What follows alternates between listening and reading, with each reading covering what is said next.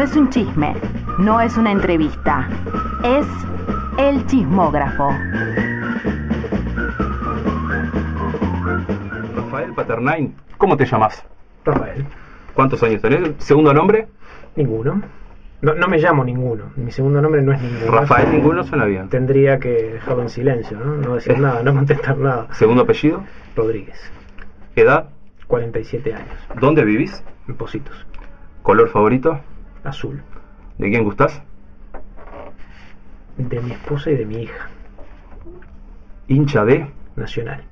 Acá fue un, todo un tema, lo hablamos, ¿no? Terrible, terrible. Vamos a contar que la compañera trabajó con Paternain y ¿qué nos puede contar? Vamos, la entrevista es a vos ahora. Ah, bien, eh, yo pasé este momentos de mucha violencia. Este, la inseguridad se vivía en la mesa de trabajo porque este, Te realmente- excluía, era un tipo que ejercía exclusión. En realidad estábamos en pares iguales, no sé, Rafa, éramos, bueno, había de Nacional y había de Peñarol, pero bueno, la, la, la batalla fue ardua, ardua. ¿Te hacía bullying? Era mutuo el bullying igual, ¿no, Es que el peñarolismo es como la guerra contra las drogas. O sea, ¿Qué? Está- está- qué? No se puede ganar. ¿Está perdido? Sí, porque Sí, somos la mayoría, sí. ¿no? No, no, no es, no es por eso. No sé. ¿Es el momento en el que te pones violento? El, el fútbol es, saca algo de vos que, que no lo saca otras Eh, cosas. Sí, sí. No, no es, es malhumorado, que es peor. Sea, pero vas, vas con él al estadio. no, no, violento. No vas al estadio No, y como el tipo ese que salió en la. Y es más, a mí me pasa todo lo contrario. Si voy al estadio estoy ahí en situación, puedo estar mucho más sosegado, mucho más tranquilo. Que por ejemplo, si escucho un partido por radio, veo un partido por televisión y lo que más me pone de mal humor, que no es un rasgo precisamente Mm. agradable, es cuando anticipo lo que va a pasar. A ver, a ver, esto es un, anticipo- casi un fenómeno paranormal. ¿Vos ves No, más o no. menos lo que se viene? viene, el, viene el gol, que arranca por la mitad de la cancha y ya lo ves No, no, venir. no, no, veo el resultado negativo, o sea. Ah, vos ya ves el resultado entonces. Intuyo, sí, y en, y en procesos largos, o sea, no necesariamente un partido o una jugada o una incidencia. O sea, hay un proceso de la definición de un torneo. Este, ¿Viste a y Nacional anticipo- afuera? Sí, sí, lo vi afuera. Sí. Y claro, y vos no querías verlo ya sabías lo que se venía y decías, no. Me anticipo, entonces, este, con- con- confrontarme con, con ese propio anticipo es lo que me pone de muy mal humor, pero sí, que lo tengo que reconocer y es un problema. ¿Crees en Dios? No, ¿Crees en el horóscopo? no. Sos de Capricornio, ¿no? Nuestro equipo de producción estuvo averiguando. De Capricornio. Y mira, te digo lo que simboliza. Capricornio, a ver si empezás a creer en el, en el horóscopo. Simboliza la política.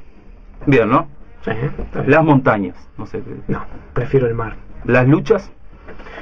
Eh, ¿Las luchas en qué sentido? Las luchas, ¿eh? ¿viste cómo es el tema del horóscopo? ¿Viste que no, No, se caracteriza prefiero- por la precisión del horóscopo? Prefiero eludir las luchas. Está, los obstáculos e impedimentos, Mm, Prefiero que no existan. las carreras brillantes. ¿Tuviste una carrera No. brillante? No, totalmente normal.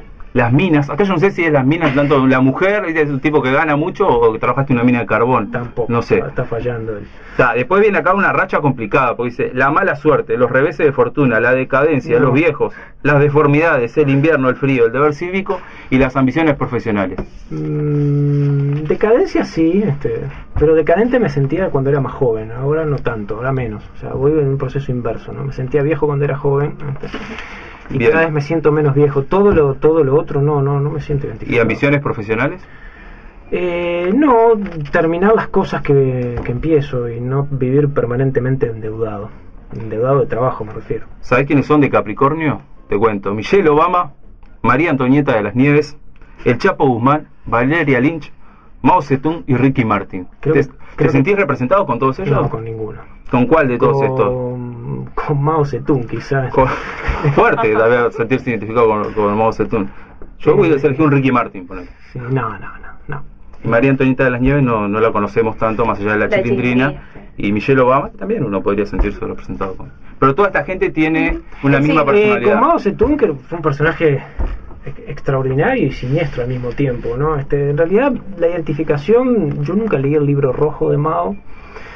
Eh, no tengo ninguna afinidad con los chinos tampoco, este, pero una vez le pregunté a alguien que yo quería mucho y le tenía mucha confianza cuando era muy chico, este, te estoy hablando de principios de los fines de los 70, quién había sido el personaje más importante del siglo XX, y me contestó que Mao. ¿no? Entonces de esa época tengo un, un cierto respeto por, por la figura de Mao, que en realidad es una figura que no he frecuentado jamás. Sí, yo te cuento que soy aficionado a la cuestión de, de la China roja, a China en general Sí. y particularmente al régimen Tabaré Vázquez es de Capricornio, creo. Tabaré Vázquez es de Capricornio también, o sea que comparte cosas con Ricky Martin, Valeria Lynch y demás. Y con Mao. Eh, es muy Creo que cualquiera podría creer en el horóscopo después de ver que toda esta gente comparte un montón de características y acá sumamos a, a Rafael Paternain, por supuesto. Si fueses un animal, ¿qué animal serías? Un tiburón, si es que entra dentro de los animales, ¿no? ¿Y por qué no entraría el, Sí, el entra el tiburón? reino animal, sí, sí. ¿Y por qué un tiburón? Porque el tiburón es malo. No, ¿por qué? El tiburón mata gente, No. es malo. ¿Qué, ¿Cuál es la virtud del por tiburón? matar, por, soy- matar, por matar gente, este, ¿Y qué- ¿Qué te gusta del tiburón? ¿Qué- y es autónomo, es lo, Es autónomo, es lo pero- suficientemente inexpresivo, ¿no? Este, se desliza bien. como el delfín, Fluye. como, el, como la mojarra Sí, también. pero ¿no? La mojarra. el- el ti- ¿Sabes la ventaja que le veo al tiburón? A ver. Este, es que no podés esperar de él ningún gesto demagógico. A mí me cuesta muchísimo la demagogia. Como El- animal, o sea, es imposible que nadie tenga empatía. Es frontal el tiburón. Sí, y a mí me molestan los animales a partir de los cuales los humanos este, establecen todo tipo de sentimientos exacerbados y, y ahí como que uno puede estar a resguardo. En realidad el tiburón permite estar a resguardo de, de cualquier reflejo de demagogia. No entiendo, nunca me dirías un perro porque se me echa los pies, por ejemplo. una cosa así. No. Viste que el perro saca esa cosa tierna de- No. del ser humano. ¿Cuál fue la última película que viste en el cine? La última película de estreno y creo que Casablanca. No sos de ir al cine.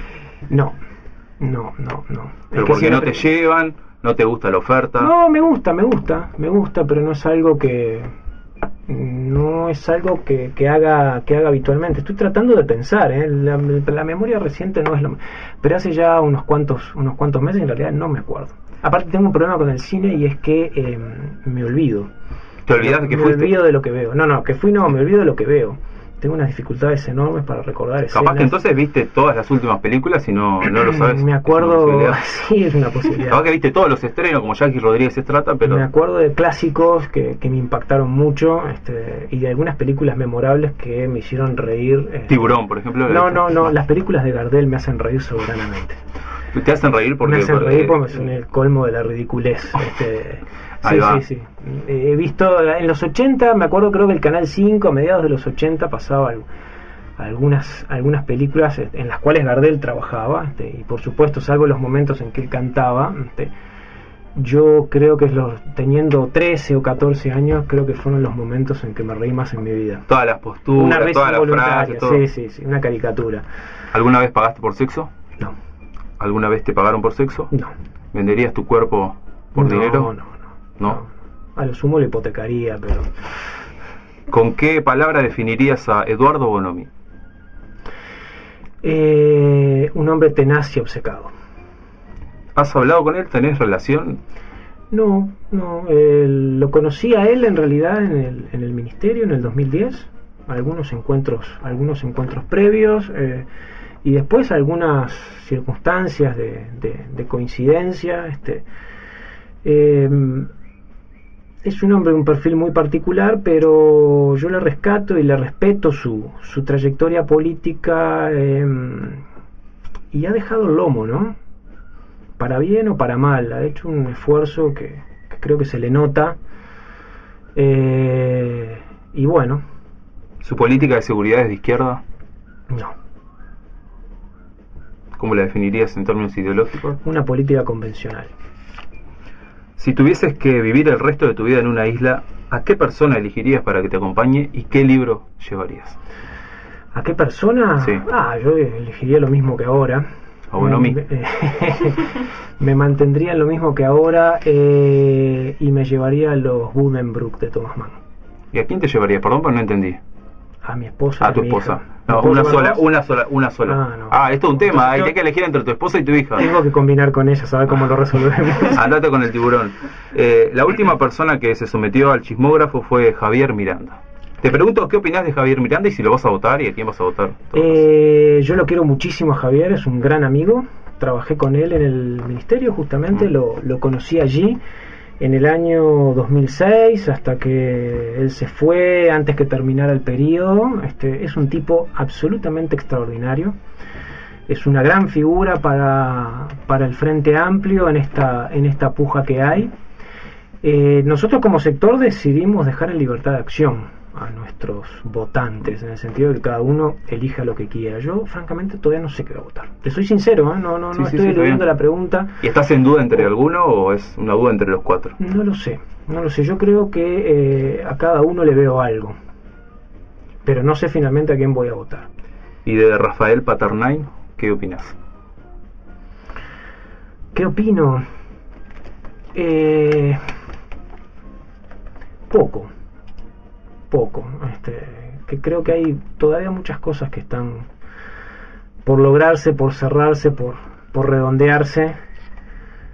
Eh, mucho mal humor para, para limitar, mucho enojo por el fútbol y los compañeros, eh, pero no, no tengo una opinión, no tengo una opinión formada, es el que me sostiene.